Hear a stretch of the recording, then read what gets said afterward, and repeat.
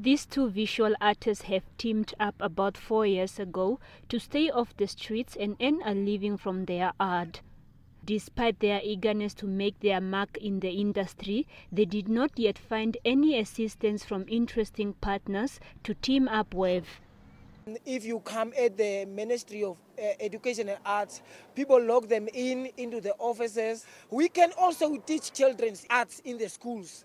But uh, uh, maybe government or in Namibia, the, the uh, VIPs or the uh, parliamentarians, and I don't even hear on the news that one day there was a, a talk like uh, arts in Namibia.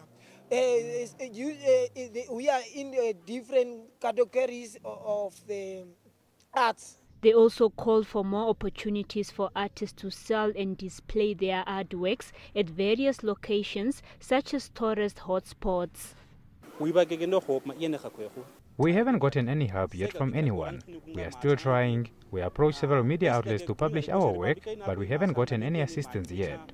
That's why we are pleading to at least be given platforms to showcase our work. They said although the National Art Gallery is playing its part, little has been done to assist visual artists in the country. This story have to come to the president.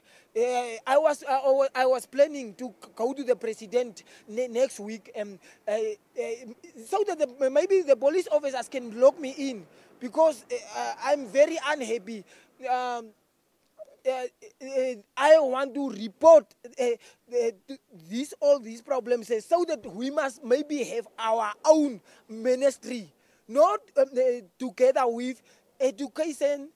For now, their artworks are only displayed at their house, waiting for a golden opportunity to showcase it to the rest of the world. Karuweb and Roinasi are however optimistic that their future looks bright on the local and international art scene. Salima Henok, NBC News, Windhoek.